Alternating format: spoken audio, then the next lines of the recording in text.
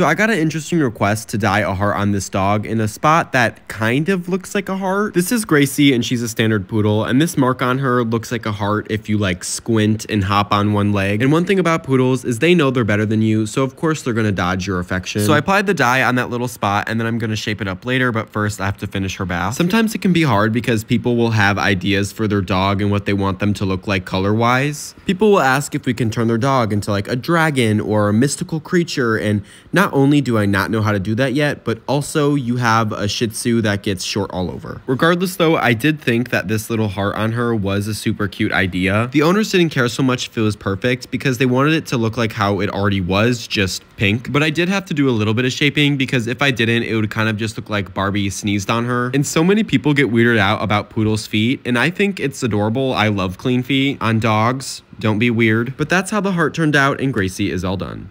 Bye, Gracie.